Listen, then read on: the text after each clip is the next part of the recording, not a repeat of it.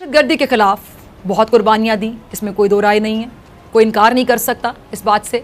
امریکہ کی جنگ میں اتحادی بنا، دہشت گردی کا نشانہ بھی بنا، لیکن لیکن امریکہ نے اس کا اعتراف کرنے کے بجائے پاکستان سے ہمیشہ ڈو مور کا مطالبہ کیا یعنی امریکہ کبھی مطمئن نہیں ہو سکا۔ پاکستان کو ڈو مور ڈو مور کہتا چلا گیا۔ پاکستان ایک طویل عرصے تک دہشت گردی کا شکار نے دہشت گردی کے شکار ملک پاکستان کو ہی دہشت گردی کا سرگنا بنا کر دنیا کے سامنے پیش کر دیا تھا۔ جب ہم اپنے ہی فوجیوں کے لاشیں اپنے ہی سرزمین سے اٹھا رہے تھے، تو دنیا بھر کی تنقید بھی ہم ہی برداشت کر رہے تھے۔ دیکھیے ذرا کہ پاکستان میں دہشت گردوں کی محفوظ پناہ گاہیں ہیں۔ یہ کہا جاتا تھا، جس کی وجہ سے پاکستان کو کئی بڑے مسائل کا سامنا بھی کرنا پڑا۔ اور کئی بار تو جانتے بوجھتے بھی پاکستان کو اپنے مفادات کا نقصان کروانا پڑا کہ دہشت گردی کا منبع قرار دیے جانے کے بعد اس کے مفادات کی کوئی وقت ہی نہ تھی۔ حالانکہ پاکستان میں ہوئے جو دہشت گردانہ واقعات ہیں، ان میں سے نوے فیصد واقعات پاکستان کی سفارتکاری کی وجہ سے ہی ہالینڈ میں حضور صلی اللہ علیہ وآلہ وسلم کے جو خاکے بنائے جانے کا مقابلہ منسوخ کیا گیا۔ ستائیس فروری، جب بھارت نے پیغام دیا کہ پاکستان جنگ کا خواہش مند بالکل نہیں ہے۔ پاکستان جنگ کے حق میں ہے ہی نہیں، کیونکہ جنگ کسی مسئلے کا حل ہوتا بھی نہیں ہے۔ اور اگر جنگ ہوئی تو پوری دنیا اس کی لپیٹ میں آئے گی۔ اچھا روس افغان جنگ کے بعد سے پاکستان حالت جنگ میں بھی ہے، اور اس کی جنگ بھی ایسے دشمنوں سے تھی جو پردہ سکرین پر آئے بغیر گماشتوں کے ذریعے آگ اور خون کا کھیل کھیلنے میں مہارت رکھتے تھے۔ پاکستان نے جہاں ایسے دشمنوں کو نکیل ڈالنا سیکھا، وہیں صبر کو جنگ میں بروئے کار لا کر ایسے ٹھوس اقدامات بھی کیے کہ داعش جیسی تنظیموں کو پاکستان میں قدم جمانے سے روکے رکھا۔ وہ ہندوستان جو ایک عرصے سے امن کی آشا بن کر، مظلوم بن کر اور رام رام کر کے دنیا کو رام کر چکا تھا۔ چند دنوں میں ہی جنگی جنون میں مبتلا نظر ہندوستانیوں کو پاکستان کی حکومت نے سپر پاور کو یہ بتایا کلیئرلی کہ اب ڈو مور نہیں بلکہ نو مور، بلکہ اب آپ کو کچھ کرنا ہوگا۔ اب امریکہ کو پاکستان کی کوششوں کا، کاوشوں کا، قربانیوں کا اعتراف کرنا ہوگا۔ اب امریکہ کو پہل کرنا ہوگی۔ پاکستان نے امریکہ کی جنگ میں اتحادی بن کر غلطی کی اور امریکہ پاکستان کو تنہا چھوڑ کر چلتا بنا۔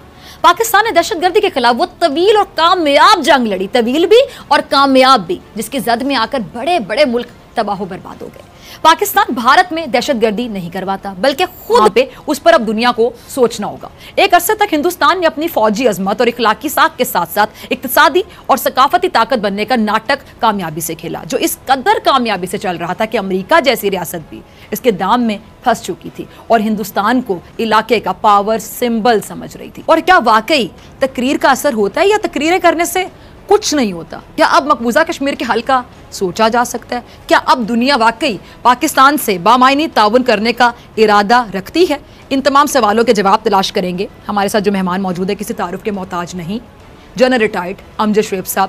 جنرل صاحب وارم ویلکم سب سے پہلے یہ جاننا چاہوں گی جنرل صاحب کہ بہت سے لوگ کہتے ہیں کہ تقریر سے کیا ہوتا ہے؟ لیکن میرا یہ ماننا ہے کہ تقریر سے بہت کچھ ہوتا ہے۔ تقریر سے تو ہم بتا سکتے ہیں کہ ہمارا موقف کیا ہے، ہماری پالیسی کیا ہے۔ اور سب سے بڑی بات کہ تقریر کرنے والے کا لہجہ، اس کا انداز، اس کا کانفیڈنس بہت سے لوگوں کے ہوش اڑا سکتا ہے۔ کیسے دیکھتے ہیں آپ؟ بسم اللہ الرحمن الرحیم۔ دیکھیے، تقریر اظہار ہے آپ کے سوچ کا، آپ کے موقف کا۔ اور اس کے ساتھ ساتھ یہ ہے کہ تقریر میں اگر آپ نے وضاحت اور اچھی فصاحت کے ساتھ بات کی ہے، تو وہ لوگوں تک پہنچنے میں آسانی ہوتی ہے اور میرا خیال ہے یہ سب سے اچھا ایک ذریعہ ہے۔ اب بات یہ ہے کہ جو لوگ یہ کہتے ہیں کہ تقریر کرنے سے کیا ہوتا ہے، اس کی بنیادی وجہ یہ ہے کہ ان کے لیڈرز وغیرہ اکثر تو تقریر بھی نہیں کر سکے۔ تو جب آپ اس کا فرق نوٹ کرنا چاہیں تو وہ یہی ہے کہ جب تقریر کی نہیں آپ نے اپنا موقف ہی نہیں بتایا دنیا کو قائل کرنے کی کوشش ہی نہیں کی تو پھر تو لازمی بات ہے کہ کوئی اس کا نتیجہ نہیں نکلے گا۔ لیکن جو جہاں ایک بڑی فصاحت کے ساتھ بات کی جائے اور تقریر ایک بڑی مؤثر طریقے سے کی جائے تو اس کا اثر اگر کشمیر کی آزادی پہ نہیں نکلتا تو بہت سارے لوگوں کو قائل کرنے میں تو ثابت اس پہ وہ مفید ثابت ہوگی۔ اگر سارے ملک اس پہ فوری طور پہ کسی منافقت کی وجہ سے ریئیکٹ نہیں کرتے تو اس کا